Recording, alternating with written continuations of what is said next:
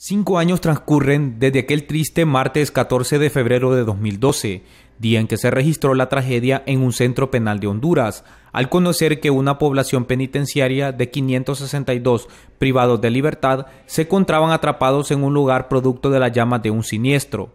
Nosotros lo que queremos justicia, que los, los asesinos, porque fueron asesinados, que no tiren mentiras de que fueron quemados porque fueron asesinados. Uno los quemaron o sea, mi hermano tenía un tiro, yo, lo fui a traer a la morgue, mi hermano tenía un tiro en el pecho y fueron asesinados. Entonces, que, que paguen, porque son cinco años y no se ha visto nada. Eran cerca de las 10.30 de la noche cuando el cuerpo de bomberos recibía la alerta que en la granja penal de Comayagua se presentaba en el módulo 10 un voraz incendio que consumía rápidamente el recinto en el cual perdieron la vida 361 privados de libertad y una dama que se encontraba de visita. Aquí hasta el, hasta el 13 de marzo supuestamente van a dar la resolución los jueces. Nosotros no estamos de acuerdo porque el Ministerio Público ya se pronunció. El Ministerio Público está pidiendo 1080 años porque fue negligencia de ellos. Pero los abogados defensores están diciendo que no fue culpa de ellos porque los, eh, los centros penales no están aptos para tener tanta gente y que no es culpa de ellos, que aquí si hay alguien es culpable es el Estado.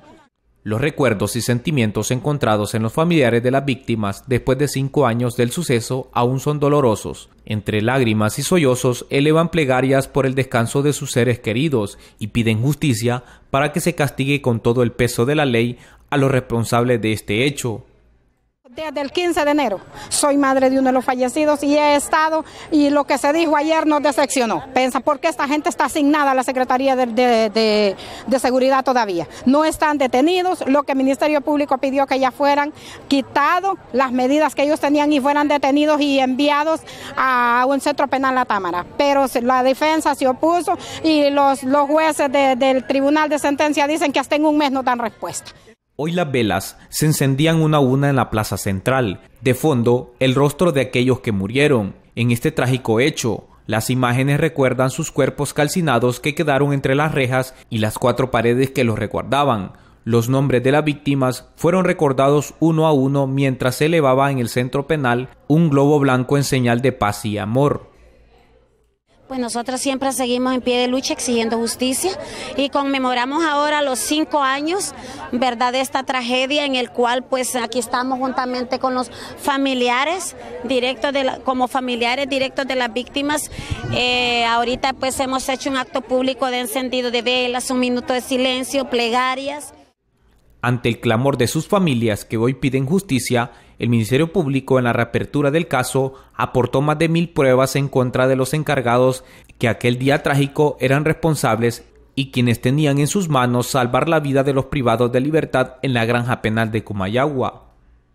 En este caso, ya el Tribunal de Sentencia eh, convocó a las partes para el 14 de marzo, donde se va a conocer el fallo, que el Ministerio Público espera que sea un fallo condenatorio con base en más de mil elementos probatorios que ha propuesto en este caso, donde se imputa al exdirector y al ex encargado de las llaves del centro penal por suponerlos responsables de 360 homicidios culposos, al exdirector del centro penal por suponerlos responsables de 11 casos de violación de los deberes de los funcionarios y al encargado de las llaves por suponerlos responsables de 10 casos de violación de los deberes de los funcionarios. Junto a ellos también se imputa a Rito Llanes, quien era el Muralla, y también eh, a Santos López, a ellos por suponer los responsables de 10 casos de violación de los deberes de los funcionarios.